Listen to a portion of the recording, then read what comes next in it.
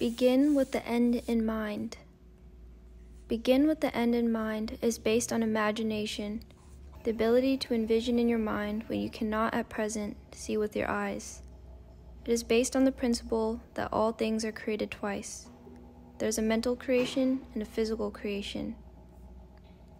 It's about connecting again with your uniqueness and defining the personal, moral, and ethical guidelines within which you can most happily express and fulfill yourself.